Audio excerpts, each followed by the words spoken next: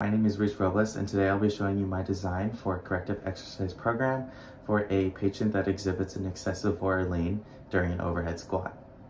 In this overhead squat, you can see that the chest angle and the shin angles cross over each other, where in a normal squat they should be parallel. You can also see that the dorsiflexion of the ankle has decreased, where the hip flexion increased. Why does this matter? Having an excessive lean forward during an overhead squat can put more load on your back and your core stabilizers than it does your legs and your glutes. Potential causes of this can be sitting for a prolonged period of time. This can be students, people that work from home, office workers. Some injuries that can be caused from this are lower back pain or sprains to their glutes, their hamstrings, and their groin. And looking at their range of motion and doing some of these testing, you can see that they have decreased ankle dorsiflexion and decreased hip extension. Because of MMT and range of motion testing done on the LPHC in the lower extremities, we were able to find our overactive and underactive muscles. The muscles that we found to be overactive was the soleus and the gastrocnemius. Because of the tightness in this area, it led to a decreased dorsiflexion in the ankle. And because of this, the anterior tibialis was our underactive muscle. Because of these overactive and underactive muscles, the LPHC had to compensate for the center of gravity being off by excessively leaning forward. Another muscle that we found to be overactive during our MMT and range of motion testing was the latissimus dorsi. This is because the latissimus dorsi was compensating for the underactive muscle, which was the gluteus maximus. The gluteus maximus's inability to keep an upright trunk position Force the latissimus dorsi to use synergistic dominance to create stability during the overhead squat. So to start the corrective exercise continuum, I'm gonna have my client use a foam roller to their gastrocnemius and their soleus. The purpose of this is to release any tension and decrease any activity of overactive neuromyofascial tissue in the body. So for this exercise, you're gonna have them be on their arms and their legs for plant and support while they roll out their opposite leg.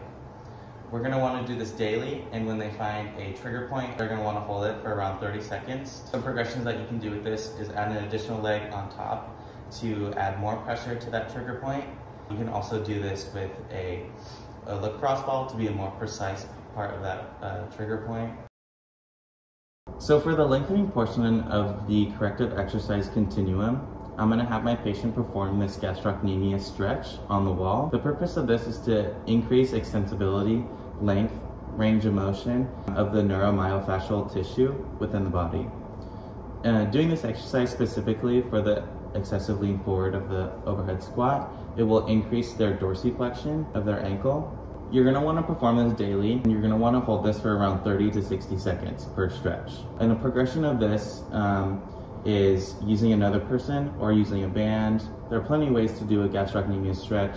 The wall is just the easiest because it's most accessible.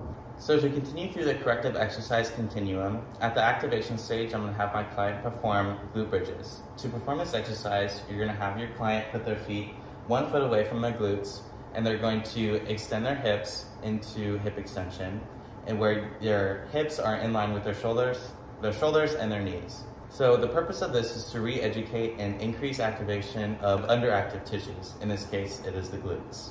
I'm gonna have my client do this around three to five days, one to two sets of 10 to 15 reps. Specifically, I'm gonna have my client do this three times a week, uh, two sets of 10 at moderate intensity.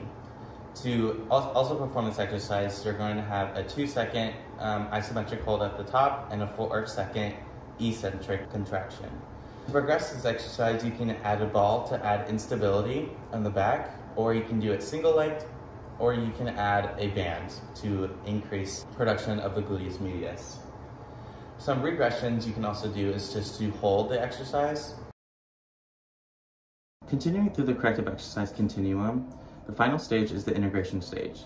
During this stage, I'm going to have my client perform a wall ball squat with an overhead press.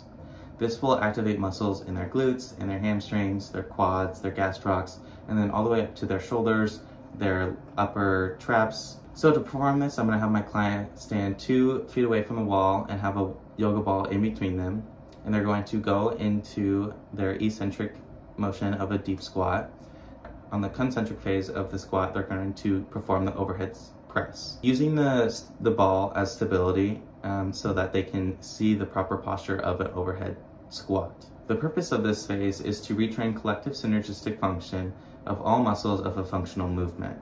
I'll be having my client do this three times a week for one or two sets of 10 to 15 reps. Intensity is going to be moderate with in their tempos and be very slow and in control. To progress this movement, they can add more weight to the overhead press to increase instability, and to regress this, they can just do their simple body weight. So in total, this should take my client around 20 to 25 minutes to complete. I would want them to do this three times a week with a rest day in between. Um, I would also want them to do the inhibitory and lengthening phase daily to increase range of motion in their ankles and lower extremities. Some contraindications to this exercise program include acute injury, muscle strain, muscle tears to any muscles being lengthened, neuromuscular disorders, or any special populations.